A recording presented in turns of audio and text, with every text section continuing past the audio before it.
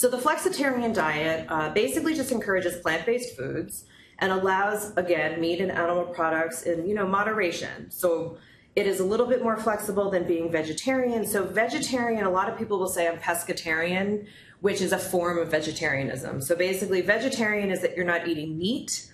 And so you could be a lacto ovo vegetarian. So a lacto is milk or dairy products, ovo is egg, and then pesco is fish. So a lot of people are vegetarian and they might most of the time, but they might have like a steak when they go out, you know. And so it's all that would be considered flexitarian. So, but veganism is something different. Veganism is just the easiest way for people who don't already know is just eating nothing that comes from or has a face. So even honey is not vegan because it comes from a bee.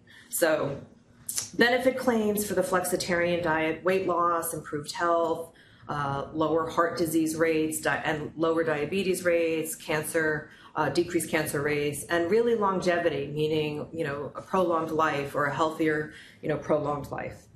So the flexitarian diet isn't all about restricting, restricting, restricting, because a lot of these diets and what it does is it sort of is you're constantly in this state of restriction or deprivation, I like to call. So I can't have this, I'm not supposed to eat this. And so really it's easier sometimes to think about the foods that you can and should be having.